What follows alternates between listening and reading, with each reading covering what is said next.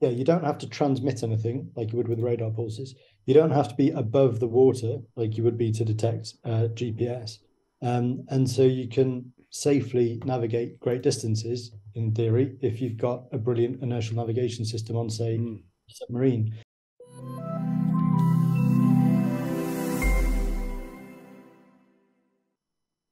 What's up, you scholars of enlightenment? Dr. Sam Gregson, particle physicist, here again. I hope you've had a brilliant week and have a fantastic weekend in store. Now, quantum navigation may be the future for militaries worldwide, and Britain's latest system aboard the test ship HMS Patrick Blackett just completed a South Coast pleasure cruise. Quantum navigation systems exploit the quantum properties of atoms to measure an object's movement more precisely than by conventional means. A ship equipped with the technology could potentially navigate more accurately than with chart and compass, and also navigate without satellite based navigation, GPS, on which the world now relies. Quantum navigation could help ships and submarines to navigate the globe more accurately than ever before. So, to help me dig into quantum navigation, how these systems work, and the road ahead, I'm joined by a fantastic special guest, Dr. Ramsey Faragher. Ramsey is an expert in electronics, navigation, and sensor fusion. He's a Bye Fellow of Queen's College, Cambridge, and the CTO, President, and Director of Focal Point Positioning Limited. He is a real life James Bond Q, according to Top Gear magazine. So, who better to help me dig into the fascinating world of quantum navigation? Ramsey, how you doing? Good, thank you, Sam. What's new in your life? Uh, just busy, busy, busy, the usual sort of stuff. Um, uh, yes, uh, my my navigation expertise will certainly um, help with today's little news story. So it's right up my street, this stuff. It is exactly right. That's why we got you back. So Ramsey is a fellow of the uh, Royal Institute of Navigation. That's right, isn't it? Yep. And the real life James Bond Q, according to Top Gear magazine. Now, I don't know which one of those is more prestigious. Ramsey, maybe you can make a call on that. But both of them, I think, are going to uh, are going to help us out a little bit here. So, we've heard uh, in the news today that we've got this essentially quantum navigation system. So, what are we talking about here? What is a quantum navigation system? It sounds very kind of niche, very woo, very Deepak Chopra. You know, sticking quantum on the front of something. What what's going on here? Yeah, it's interesting because a lot of our um, existing navigation systems use lasers and photons and various bits and pieces of things that are already quantum. But what they're referring to here is um, anything that's using entanglement or superposition um, that they're labeling as being a, a quantum technology. And what this, uh, I was going to say little box, but it's definitely not a little box. What this thing uh, is, is a cold atom interferometer. So they cool down a cloud of rubidium atoms using lasers to a tiny, tiny fraction of a degree above absolute zero. Mm. At that temperature, these uh, the cloud of atoms forms what's called a Bose-Einstein condensate, which is the fifth state of matter, I believe. Is that right, Sam? It's, there's, always it's always a bit of a sore point as to how many states there are, but yes, we'll go we'll go with that. And they're all sitting in this ground state anyway, so they're they're extremely extremely cold, very very close to absolute zero and they're all essentially sitting in the in the ground state of the system in this in this so-called Bose-Einstein condensate. Yeah, and the wacky thing that then happens when they're this cold and they're in this condition here is they start to behave more like waves than particles. So you've got wave particle duality going on here, and that means that we can pretend that this thing is a laser with an incredibly small wavelength, and we can um, build interferometry systems, which use the interference of light normally to make incredibly fine scale measurements of movement, but we can do it with a wavelength that's around 10,000 times finer than you can do with a laser. So this thing should be way more precise at measuring rotations and accelerations than any laser-based system that we have today. So it's, so it's kind of tricky to to kind of work out what's going on. I need to have a look at a little bit more at the papers um, themselves. But but as you said, we're cooling down this cloud of rubidium atoms to very close to absolute zero. The atoms start to behave basically like one big atom or a wave. They get these wave-like properties. We hit them with a laser. We can we can make those those atoms or states of the system move on two different paths, and then when those states re-interact, we can look at that interference pattern that's created, and that gives us some information about potentially the accelerations that were applied to that system while while the uh, while the states were going on their two different trajectories, and very very fine measurements of the accelerations and forces that were applied to the system. Is that is that fair? Yeah, and you're still you're still doing some aspects of um, there are still some aspects of this that uh, feel like you're just lobbing particles around. So they literally trap them with lasers and then launch this cloud of atoms um, on a trajectory. So typically just up and down in a tube. And uh, basically, when they recombine some of the atoms that went up and down in the tube with some that didn't, they can put them through a process where there's an interference mm. pattern that emerges as if they were waves. And it's that interference pattern that can be used to make incredibly fine scale um, measurements. And so yeah, it's literally wave particle duality. Even even talking about you know both things at the same time with this sort of, of setup. Um, so yeah, it's difficult to get your head around. Um, and that's probably why we don't build many systems like this. so so that raises the the next question naturally of why do we need the system? It sounds very complicated. Um, we, have got solutions for for navigation already.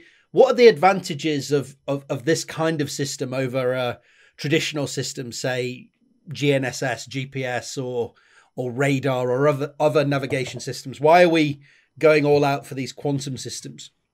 So these um, particular cold atom interferometers are a type of inertial navigation system. Right. So they just measure accelerations and rotations, and you can integrate up your acceleration to estimate your velocity and then integrate it again to measure a position.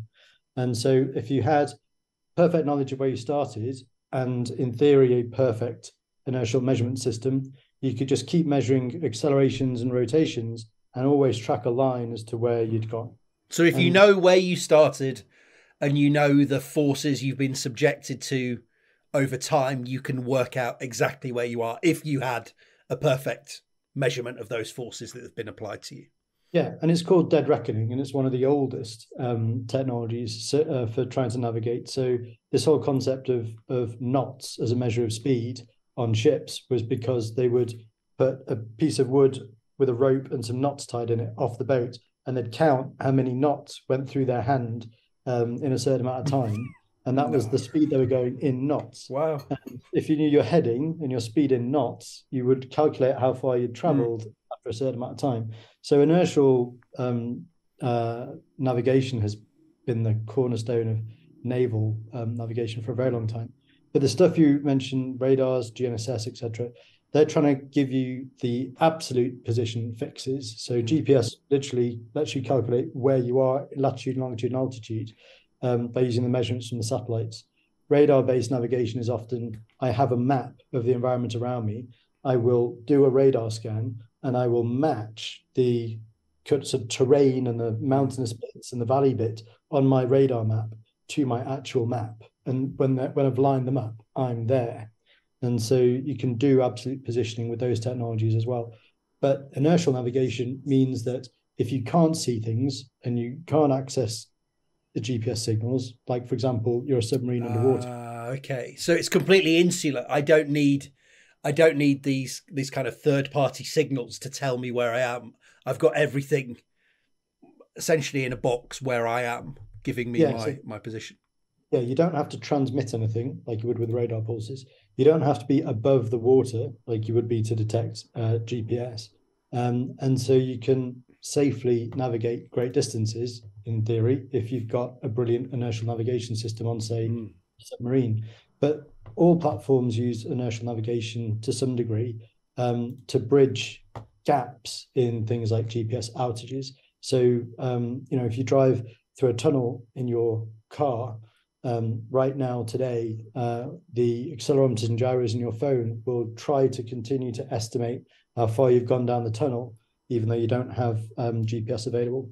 So uh, we all combine inertial navigation with radio technologies in all of the systems that we use It's just that there's a difference between a one dollar uh, one dollar accelerometer in a smartphone and a ten million dollar inertial navigation system on a sub using cold atoms. So I think I think here we've got an example of uh, maybe a maybe an older, rougher example of what what happens on a submarine. So the submarine obviously doesn't have access to um, you know the GPS signal that's underwater. So what what's going on with this inertial navigation system here? What sort of things are we are we seeing? I might have got one that's so old that you that you don't know, but no, I, I suspect I'm purely guessing. Um, but that looks the thing on the right looks. There's a, like, there's a more modern one here if you want to uh, go on that one that, as well. That's a laser ring. All right, well we'll come to that in a second. So that, let's deal that, with this that one. Thing, that thing on the right is probably an old, really old-fashioned gimbaled Hmm. flywheel gyro.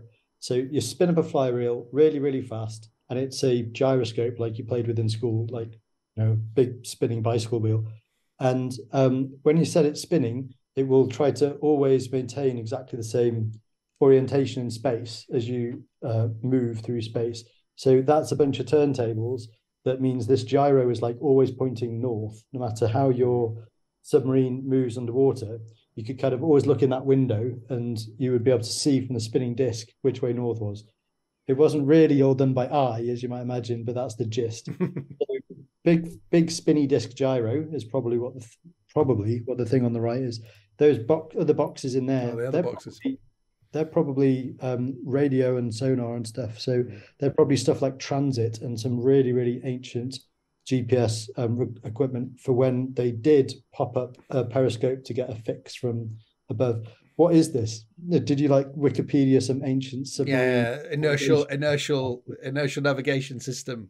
First Right. entry on Google or I something. mean, yeah, that looks ancient, whatever that stuff was. Um, and then that that hot look, looking picture of a sun at the top right, that's Mm. that's a laser ring gyro. So they really do look like that. So that's a, a triangle, a mirrored path, and um, a laser beam goes in both directions, looping around um, that set of mirrors, those three mirrors.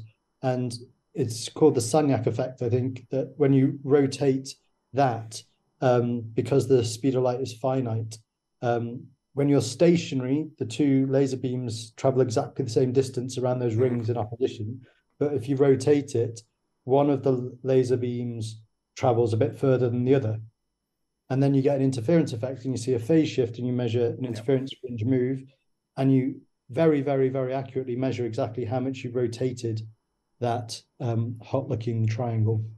So, Um, so the and que- so that raises the question then: if we've got these systems like this, then why why are we having to go out all out for these cold? At- uh, do, do these things build up error? Do they do they drift? What what's going on with? Exactly. So there's there's two big arguments put forward for the cold atom stuff. So one of them is the argument that every atom is identical. So all of these rubidium atoms in the cloud, they're all completely identical. Um, whereas um, with the bigger traditional systems that are made up of huge lumps of of, of uh, lead or something in your gyroscope, or you know that laser ring gyro would really be like this big. So it's a big macroscopic object with lots and lots of um, mechanical parts. Um, they're all different, and so um, they all have slightly different biases and errors and um, scale factors and all of these parameters that are different from one to the next to the next to the next.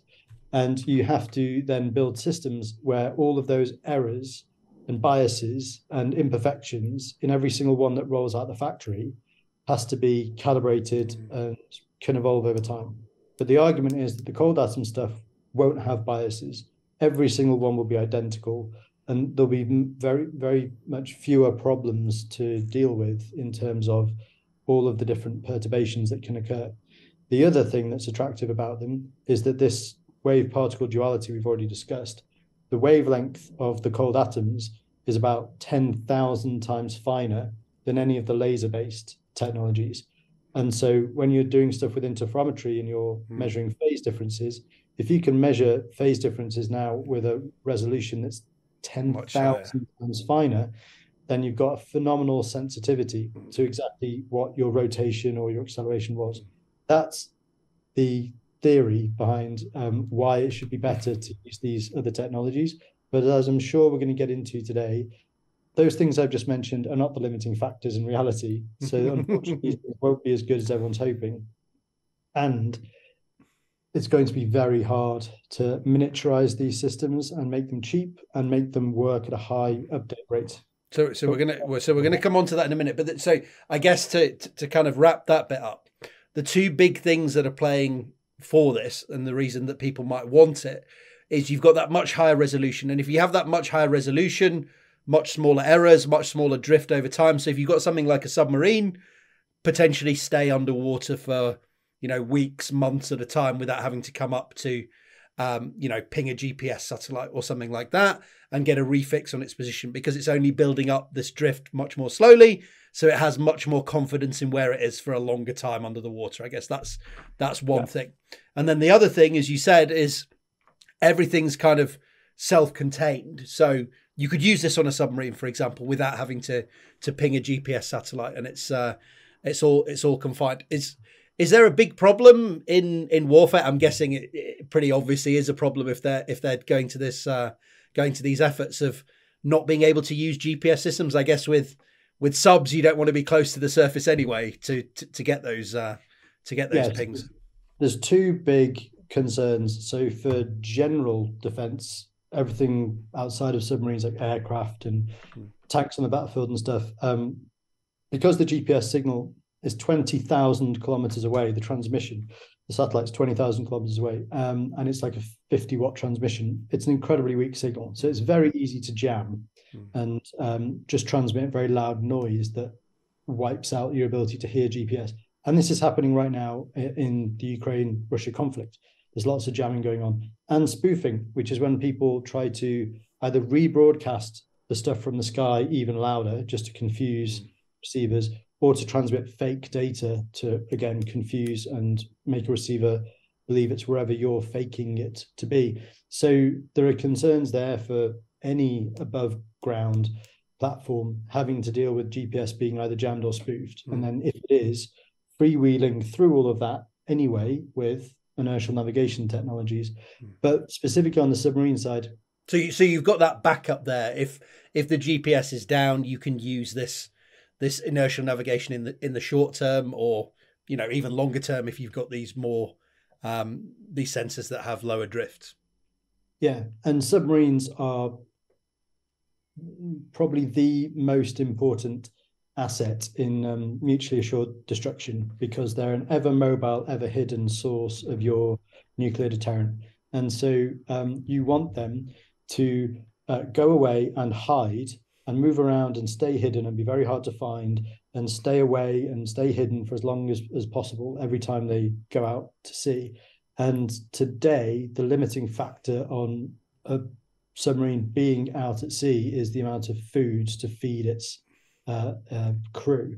So they can make oxygen and they can make drinking water all underwater from the uh, nuclear power plant on board the submarine and electrolysis of seawater and, and, desalination and, and things like that. So it all comes down to the food uh, and popping up to get GPS fixes because the current inertial navigation system technologies drift and the error grows and the uncertainty grows at a certain rate, which is not publicly known. Um, but periodically, during the course of the month trying to stay hidden at sea.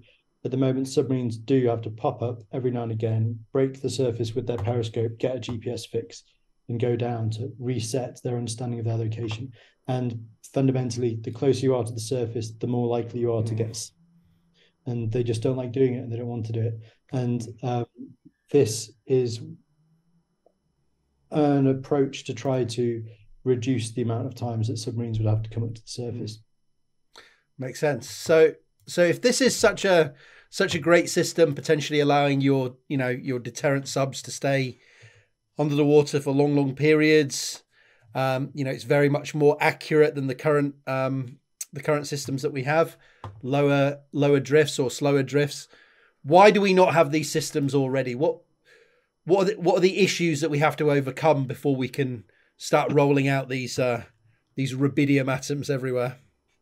Yeah, the the technology is actually very old. The UK has um, just been investing in the last decade or so in a whole bunch of quantum technologies. We set up hubs across the country, one concentrating on quantum computing, one on sensing, and this comes under the sensing one, uh, one on communication, and I think there was one other. Um, so we've recently invested a lot of money in trying to generate new quantum-based technologies. But this particular approach, the Americans have been looking into this through DARPA programs and um, there's a company called AOSense over in the USA that um, have had a cold atom interferometer for navigate for well, it's a single axis accelerometer, so for sensing rather than navigation, um, for well over a decade by now. And there are many challenges. Um, th- this is a very, as you can see from this picture, this is a very delicate and complicated laboratory experiment. Maybe, maybe I can maybe I can pop this out and we can get a little bit of a yeah. There we go yeah, I mean it, it's uh, complicated laser beams pointing all sorts of, doing all sorts of stuff, and you know you're cooling stuff down to a fraction of a Kelvin. It's not um, the sort of thing you'd necessarily expect to be doing on a rolling ship, I guess.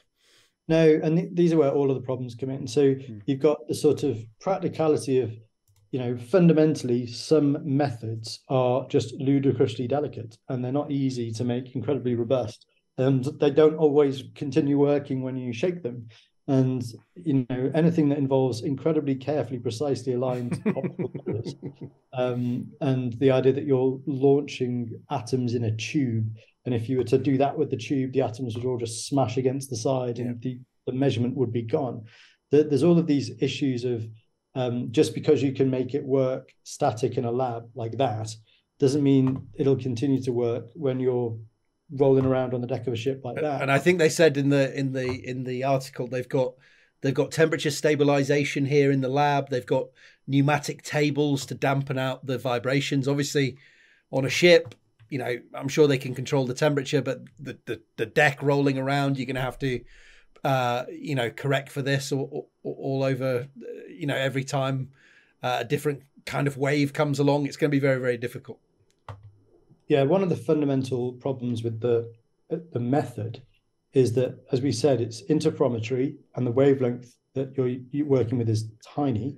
And interferometry means you just see a set of fringes, and they're separated by uh, a distance that's proportional to that wavelength. And so, um, if you vibrate the platform, like you're running an engine on a ship or a tank or a plane or anything yeah. that's you know running an engine, and there's this vibration, this constant vibrating noise on the platform you're on, that will just completely blur and wash out the very interference fringes you're trying to measure.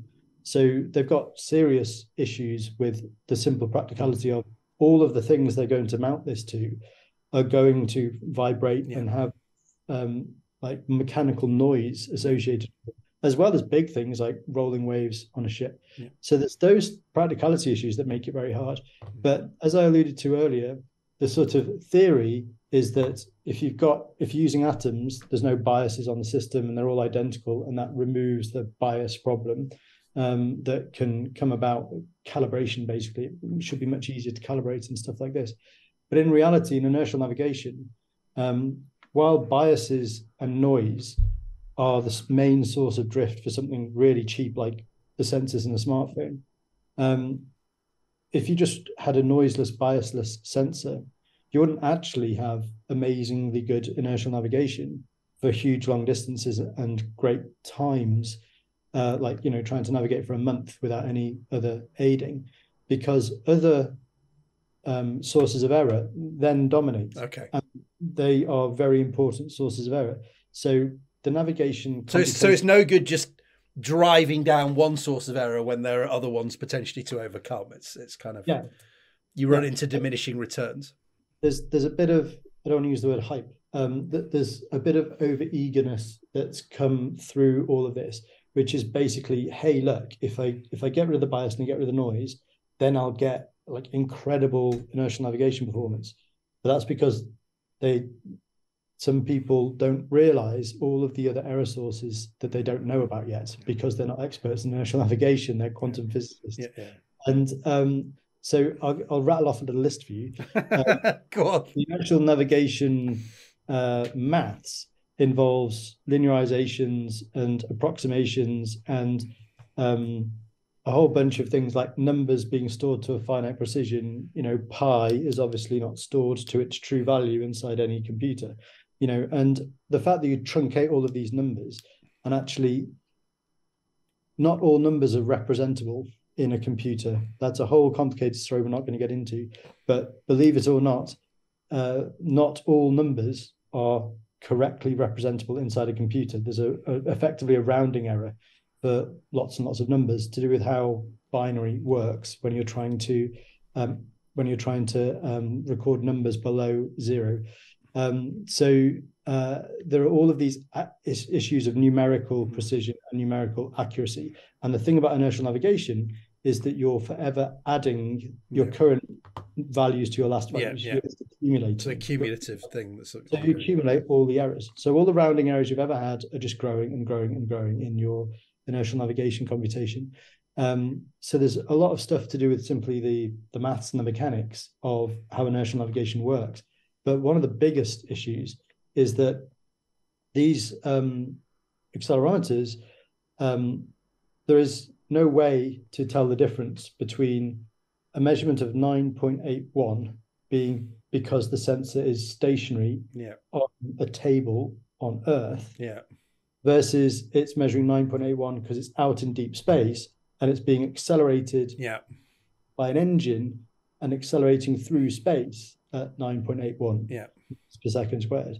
And um, that uh, inability to distinguish between gravitational acceleration and the inertial acceleration that moves you through uh, space means that on Earth, when you have this sensor stationary in a lab and you're measuring a number around 9.81, an inertial navigation system has to say, well, I, I, need to remove the effect of gravity, and then whatever acceleration is left, I will add, yeah. and I will assume that that means I'm moving. And so um, the problem is gravity is not 9.8 blah. Yeah. It's more, there's more gravity at the equator than the poles. And yes, thank you very much. We're, we live on a lumpy Earth, let's be brutally honest. And, um, you know, if you stand next to base camp of Himalayas, believe it or not, you know, gravity, the gravity vector is pointing a little bit into that big mountain yeah. stood next. So it's not straight up everywhere and it's not the same number everywhere. But these um, inertial navigation systems have to estimate yeah. what gravity is where they are, minus that out of the um, measurement, and then accumulate whatever's left. So you need a very good map of of G basically across the Earth as well, or anything else that could affect the inertial exactly. system. Yeah, you need um, uh, you you would need an incredibly high resolution gravity gradiometer map that's telling you um, exactly what vector gravity is actually acting at where you are, and then um, the, the, the strength as well. But unfortunately, this is also a really nasty um, uh, feedback loop, right? So if you incorrectly estimate your position a little bit, you therefore incorrectly estimate gravity. Mm. You remove slightly the wrong number. You're left with an extra acceleration that you shouldn't be really putting into the system, but you integrate it into the system, and that pushes you even further away yeah. from the true location, and the problem gets worse. And um, everyone talks about inertial drift because of biases and noise, but actually, with a biasless and noiseless sensor, the inertial drift growth is still going to be serious compared to the mm. performance that everyone's hoping will get out of cold atom because we just don't know the true value of gravity everywhere. So you'd have to, in theory, survey this um, very, very well. And that's one of the approaches that people are thinking about using. Um, and then the, uh, I, am not going to spend all night on this. There's a big list. I'll give you one more. Give us one. Give us one more. The top. The one top more. three there. Rule of three. So, um, the platforms are quite big at the moment, and you're literally lobbing a cloud of atoms up a tube and catching it at the bottom and making a measurement on it. Mm. Um, so it's the time taken for this cloud of cold atoms to do a journey in the tube, mm. and it takes about a second for them to um, uh, cool cool everything, launch it, catch it, do the measurement. So they're they're making a measurement every second, just about roughly at the moment. Inertial navigation systems that we use at the moment uh, make measurements about a thousand times faster than that. and you need to be making your measurements of acceleration and rotation Yeah. at a much higher rate than you are actually, you know, moving through Yeah, space. the resolution. Because if you're buffeted by a wave coming this way and then one coming this way, and, they're coming every half a second or something, you're you're going to get aliasing and, and and a big mess of what's Yeah. going on. So if I use my phone as an example, if I, if I had the, the inertial sensors in this phone are running at 400 hertz, I think 400 measurements per second. So if I just do this with my phone, then you could beautifully and accurately reconstruct Yeah. all of that wobble by effectively knowing 400 points along its journey, Yeah. basically. Cold atom interferometer, um, there's my first measurement, and then there's my next measurement. Um, I cannot possibly reconstruct that entire beautiful trajectory with one number I measured here and one number I measured here Yeah. and zero information Yeah, in between. yeah. And so you can't actually reconstruct the trajectories. This is called the dynamic range. The dynamic range of the sensor needs to exceed the dynamic range of the platform, and one hertz isn't it. These sensors are going to have to run at like many hundreds, if not thousands of hertz. And so we talk about trying to combine these cold atom sensors with normal stuff that's running much faster Yeah. and try to kind of get the best of both worlds. Yeah. That's just degrading fundamentally. You can't really add a very high quality, low rate sensor onto a rubbish high rate sensor and pretend that you're going to only maintain the performance of the incredibly high rate sensor. It's not how maths works. Um, so uh, that is one of the biggest problems because it's going to be very, very, very hard to increase the dynamic range of these things. Again, because of simply because of the physical mechanism that they employ, the methods they use Mm. to make these measurements.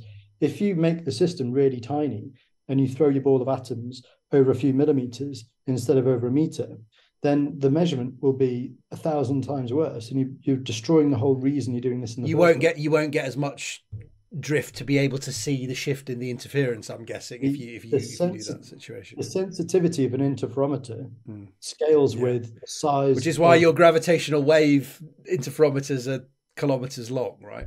exactly. Yeah, I won't go on. The list continues. well, I guess I guess the other the other big one is just practicality, right? So when we look at this thing, it's on the ship and it's a it's a big horrible box at the moment. Sure, like you said, you could scale this down, but there's limits to that given the physical um, Yeah. methodology that you're using. And this, which might look not look too big, like the size of a big sort of commercial fridge, but if you've got a submarine, this is a this is a big ass box that you need to get in there yeah, somewhere. so so I believe I think that's actually a shipping container. That's their lab. And okay, inside that shipping container is the cold atom interferometer. right, it's- okay. So it's not quite as big chest- as that, but it is No, but it's the big. size of a chest fridge. Okay. So it's big. It, it's it's yeah big enough for a human to get inside, which is which is the, the inertial measurement units in this are smaller than my fingernail. So there's a big difference. Much smaller, in fact. They're probably like grain of sand size nowadays. And on a submarine, all that space and, and mass is going to have to be taken into taken into account. So, bringing all that together, what do you think is the likelihood that we're going to be seeing these these systems out in the wild in the uh, in the foreseeable future, or is this just like you said? It's not. We we, don't want to. You know, this is amazing work, but maybe it's not just not viable in the in the practical situation, or maybe a lot of work still needs to be done. So How likely yeah, do you think we are to be seeing this anytime soon? So these particular sensors, I think, have a much uh, higher likelihood of being used for surveying than for navigation. So basically, making those gravity maps that we were just referring to. Um, so put put them on a platform like a satellite or um, something that doesn't have very very complicated dynamics. Um, make these sensitive measurements and uh, actually go the other way and measure all Yeah. of the values of g everywhere um, because there's um, there's certainly still a demand for finding every scrap of oil, you know, all the gold, all the lithium, etc., and and actually surveying the Earth for density um, variations and things is going to be useful. So I think they'll be used more for that. Um, you could still use them for submarine navigation, I'm sure, um, because at least that that can be an incredibly low dynamic platform. so submarines basically at some stages of their operation are basically walking, um, you know, very deep. Um, so they're not moving very fast at all, and they are because the faster you go, the more noise you make.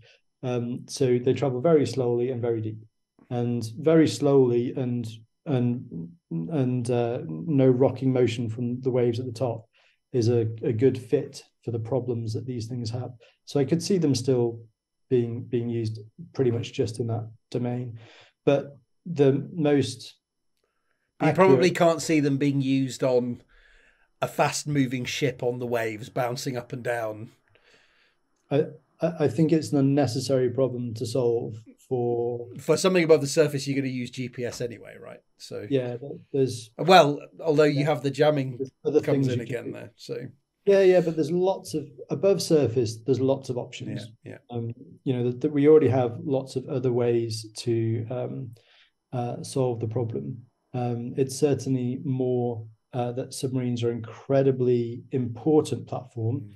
that are not allowed to make any noise or emit any radiation um, in order to stay incredibly st- stealthy. So it's much harder for them than for other platforms to navigate without GPS. And, and I did notice in the articles that there's very little information given about the success or otherwise of these tests, apart from, you know, it was successful to some extent, which you've always told me when we've discussed this that anything to do with with submarine platforms is very much hush hush. We we did a test, but you, you know that's what you're getting. You're not getting anything else about this. We're not even saying it's on a submarine. So, but yeah. potentially some of the secrecy and the the use case it suggests that this might be an underwater platform that's being considered.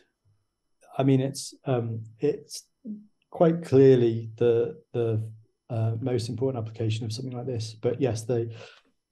I can I can certainly believe that the Navy was saying no comment whenever anyone was saying the word submarine, because uh, by definition you don't talk about them when you're you know operating them. But um, uh, sorry, you made me think of something. Um, what did you actually ask me there? Uh, I was just saying, it, it, it, basically, it seems like their their reticence in these articles suggests that this will be the use case will be on submarines. Yeah, sorry, and I remember what I was going to say. So they they basically said in the news today um, that sort of they can't say what they were doing and what they were testing. They're happy with it or something like this. The very first test they'll have done is check the um, number of measurements they could make that were useful. Yeah. They won't have actually tried to do anything to do with navigation or combining the accelerations over time to measure any changes in position. They'll have literally, I believe, in this first trial, just generated the availability metric. So how many times did they try to make a measurement but couldn't because of the rolling ship, the noise of the vibration, etc., etc. So I, I bet they've just just getting some idea of the logistics of is this a, something we could use at all? Yeah, how how available is the measurements going to be? Um, and just in the closing thought on the, the, submarine nav stuff, what we do know is in the public domain in some patents and some other clever stories, and in fact was sort of in um, uh, the hunt for Red October. Um, uh, the gravitational gradiometry mapping uh, has been demonstrated in the past as being a very accurate way of navigating great long distances without any um, GPS fixes and you don't need cold atom sensing to do it. So You can do it with existing traditional methods of measuring um, accelerations and gravity gradients. And basically, you do kind of what we were discussing earlier. You you survey a map of the region you're going to hmm. operate in of gravity gradients, and you use accelerometers on turntables to measure the gravity gradient where you are. So literally, which vector you currently got, and um, it was demonstrated by the US Navy decades ago that you can actually map match um, your gravity vector kind of bobbling around like this as you move along to a map of gravity gradients. And you're right. basically sensing all the lumps and bumps of the undersea mountains and things that you're wow. traveling past. And um, the sort of the really interesting bit of this story is that in The Hunt for Red October, the book, not the film, um, this is described in great detail in an impractical way. In the book, there's, uh, I believe it's like two huge lead balls at both ends of the submarine with a laser beam bouncing between them, or something like this, something massively impractical. And the entire submarine is is the gradiometer. But Tom Clancy wrote all of this stuff, and um, he was arrested because uh, got uh, too the- close to something. Well, at the time, this was a top secret research program doing exactly this stuff, and then it appears in Tom Clancy's book. but they took him in for a chat um, and tried to determine if someone had leaked to him Mm. this stuff. Um, but uh, he convinced them that he'd sort of come up with the concept separately, and you know, as I said, as it was described in the book, it's totally bonkers in, in terms of the actual mechanism. Um, and then a few years later, um, it was declassified. And uh, the story I was always told was that the only reason they declassified it was because it was in Tom Clancy's book. But in the book, it was a Russian technology. Hmm. So the Americans declassified it, going like, "No, we did it." Did you um did you do the back of the envelope calculation to say like so if they're going to do this incredibly um incredibly high resolution map of the of G basically across the the surface how what's the what's going to be the change if somebody comes and sits right down next to the sensor Yeah. So compared um, to that based on the distance you are away from these lumps and bumps under the sea it's certainly the case that sensors of this sort of sensitivity, um, uh, if you if you set them up in your navigation room and sort of uh, set them going, uh, and then a 100 kilogram person comes and sits right next to it and stays there then for the rest of the journey, that bias of having this unexpected mass turn up right next to the sensor for the whole journey would start to have an effect. So, I, I mean, the the idea that you could navigate purely inertially with no map matching or no Mm. um, uh, help from GPS over extended periods of time uh, is just not plausible because this is a form of a bias. And even though the cold atoms themselves um, are supposed to be bias less, the fact is that the vessel is going to change its own um, Mm. kind of um, mass layout over time, and that alone will start to also um, add yet more errors to these sorts of techniques. So pure inertial navigation is not something that you can really seriously do for um, you know months on end uh, without getting serious drift, even if you've got perfect sensors. Interesting. So, so the only thing I've got I've got left to quickly run through what what do you think are the next steps for getting any sort of system using this this procedure up and running? What what are they going to do next with this? You said maybe the navigation won't be the final use case, but what what do you think they're going to where do you think they're going to go next with this over the over the coming months? So um, this was a single axis accelerometer. And so if there's any hope at all of doing any sort of navigation demonstration, Mm. they're going to have to do uh, three axes of um, acceleration and three of rotation as well. Mm. And so that whatever the equipment actually looked like inside that shipping container, it's going to get a lot. It's like when we did physics in Cambridge, wasn't it? We're going to start with one D. Now the two Ds come along, and now three Ds come along. So you got to you got to work up to the uh, the real life situation. Yeah, so that's going to be very, very hard. Uh, people have demonstrated multi-axis versions, but they're very big, bulky, and challenging. And um, one of the biggest problems that I forgot to mention earlier, uh, this is my fourth of my top three, All right. the nature of how this cold atom interferometry stuff works. It can both measure rotations and accelerations, um, which itself is a problem. Normally, you design your gyros so that they're as insensitive as possible to accelerations. Mm. So you don't want to accidentally measure any acceleration as being a rotation when it wasn't. And vice versa, you try and build accelerometers that are really insensitive to rotation. Um, but these things kind of inherently um, are sensitive to both, but they're really, really sensitive to magnetic fields and changes in magnetic. Um, and holding up a little magnet next to the, the cloud of cold atoms just makes slam into the magnet. Um, so And I guess there's tiny changes over the over the Earth's surface as well, maybe. Um, well, that- that might this is the problem. Again, this is the problem.